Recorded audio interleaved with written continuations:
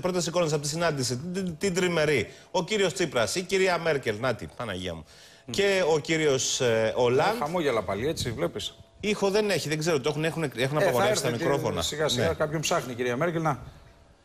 Μπαίνει να η, έχει η χαιρετό. ελληνική αποστολή, τους χαιρέτησε όλους. Γεια σας, πώς είστε, τι κάνετε. Ωραία. Όλα καλά. Τι χρώμα είναι το σακάκι που φορεί; Ρόζε.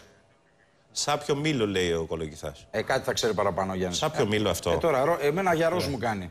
Για ροζ μου κάνει. Λοιπόν, για να Μήπως δούμε. είναι Εδώ. πιο καρπούζι; Γιατί δεν μου φαίνεται Αυτά για είναι Κοίτα εδώ. Ε, χαμόγελα πάλι για να δούμε βλέμματα. Οπ. Ναι. Ωραία. Έχει Μια χαρά, και καλό το απαραίτητες κλίμα. Φωτογραφίες. Ευτυχία. Ναι. Ε, καλά, δεν Τώρα είναι πρώτη φορά που έρχεται και ο συναντιούνται. Γάλλος πρόεδρος με τα δικά του προβλήματα στο εσωτερικό του.